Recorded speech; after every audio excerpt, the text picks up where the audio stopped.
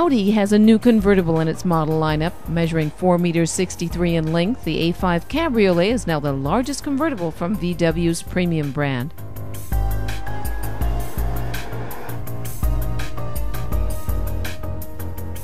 The A5 Cabriolet introduces a new strategy for convertible cars from Ingolstadt.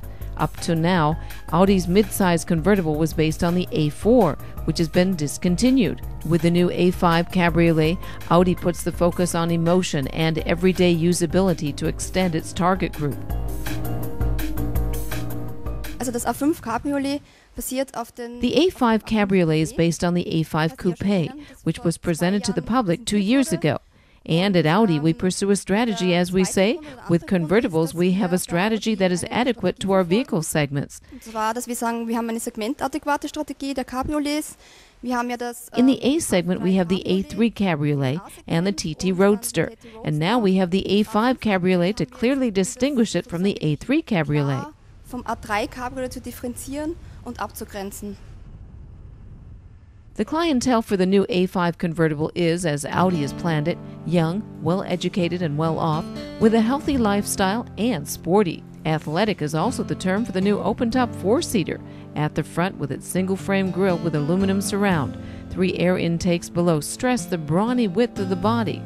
The side character line the length of the car. The short height of only 1 meter 38 lends the car nice and sporty proportions, and also the tail end underlines the broadness and presence of this car, with a small spoiler lip above and typical Audi LED tail light. Priority in developing this car was placed on its being good for daily use.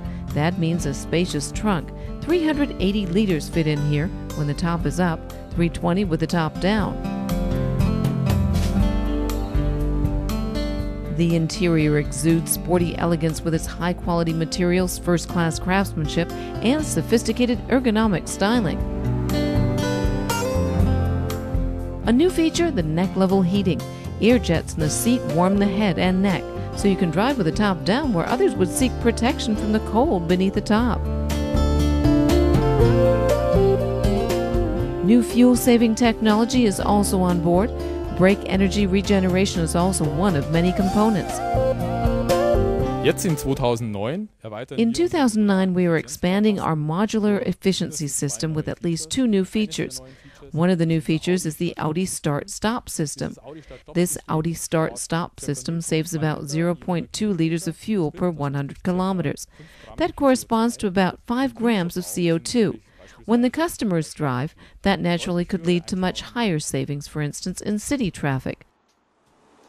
Definitely frugal, the engines. A total of five engines with an output between 180 and 265 horsepower are available to power the A5 Cabriolet. The sportier S5 will be fitted with a 3 liter V6 TFSI engine with 333 horsepower.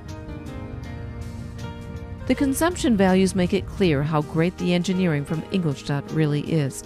The 265 horsepower gasoline engine is said to use only 8.6 liters, the 240 horsepower turbo diesel only 6.8 liters per 100 kilometers.